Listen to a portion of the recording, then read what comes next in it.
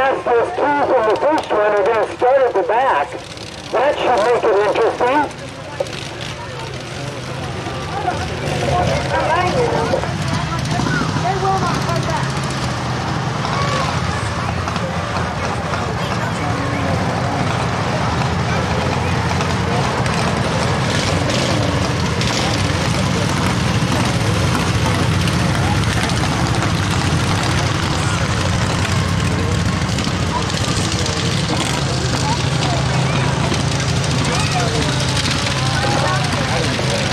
leads, so he wins, hits at the back of the pack.